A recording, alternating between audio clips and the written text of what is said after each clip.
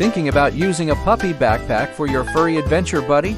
Ensure the backpack is properly fitted and only carry items that won't discomfort your puppy. Start with a lightweight load and monitor your puppy during the hike.